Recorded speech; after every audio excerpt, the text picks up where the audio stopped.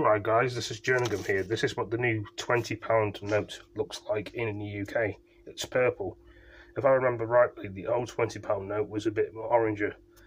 But this is purple. It's not a £50 note, it's a 20 So I thought I'd do a little, a little uh, video of showing you what the new £20 note looks like. It's not a fake note. Some people have probably tried to off a fake one, but this is a real note.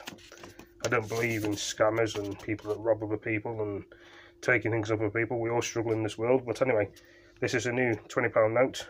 So if you guys haven't got one of these yet, I'm sure it will be across the whole of the UK and Northern Ireland and Scotland and Wales and every other country in the UK. We'll get these pretty soon. And uh, yeah, it looks pretty cool.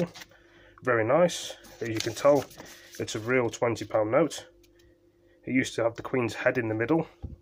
You can hold it up during the light, which is the lights up here. Oh, drop the bloody phone now. As you can see here, you can see the light and all this stuff. You can see the Queen's head there and the guy's head there.